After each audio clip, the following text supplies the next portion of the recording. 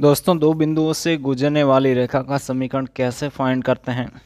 इसका मतलब क्या है? यहाँ पे ए बी आपके दो पॉइंट हैं। इनसे कोई लाइन गुजर रही है। तो इसका इक्वेशन कैसे फाइंड करना है? यहाँ पर सपोज़ करो जो ए पॉइंट है, वो आपका क्या है? ओरिजिन यानी मूल बिंदु है। और बी कोई आपका अन्य पॉइंट है। बिल्कुल आसान है। यहाँ पे दो तरीके से आपको इक्वेशन फाइंड करने होते एक, इसका वेक्टर फॉर्म दूसरा इसका कार्टेशियन फॉर्म ओके क्वेश्चन में दोनों पूछ लिया जाता है कभी कभार कभी एक पूछा जाता है। तो देखिए, हम इसकी बात करते हैं। यहाँ पे जो आपको पहला पॉइंट दे रखा होता है, उसको तो आप क्या लेते हैं? ए वेक्टर दूसरा पॉइंट जो दे रखा उसको बी वेक्टर लेते हैं। यहाँ पे देखिए, सब ज़ीरो ज़ीरो है। इसका अर्थ क्या? ए जो ए वेक्टर है, वो आपका क्या है? एक ज़ीरो वेक्टर है। लेकिन ये ज़ीरो वेक्टर नहीं है, देखिए।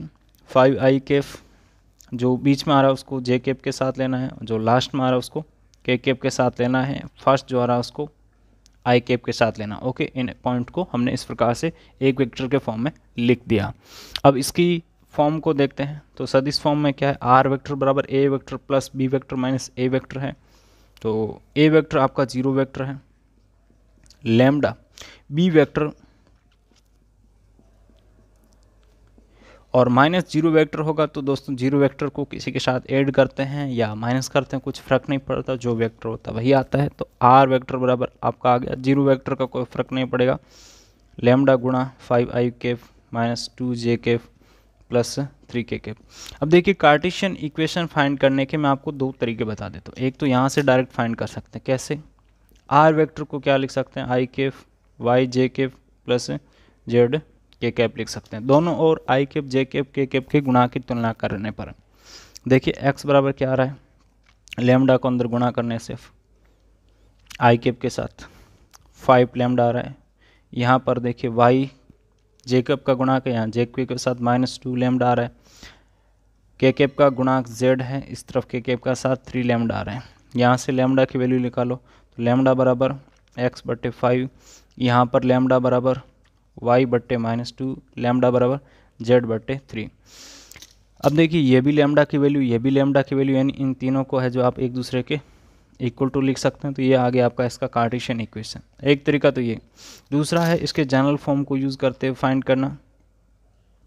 तो जनरल फॉर्म क्या X minus X one Y minus Y one Z minus Z one X two minus X one Y two minus Y one Z two minus Z one बिल्कुल आसान है।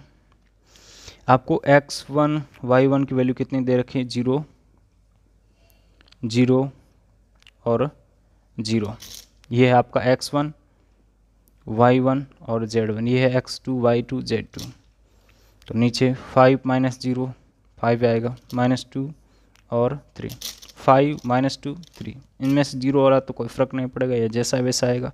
तो ये देखिए आपका X Y five Y by minus two Z by three इस तरीके से भी आपका वही इक्वेशन आ रहा इस तरीके से ज्ञात करते हैं तो वही इक्वेशन आ रहा अब आपको दोनों में से जो आसान लगता है, उस तरीके को अच्छे से सीख लीजिए और अपने क्वेश्चन को यूँ चुटके में हल कर दीजिए। ये वीडियो कैसा लगा, नीचे कमेंट करके अभी तुरंत बताओ।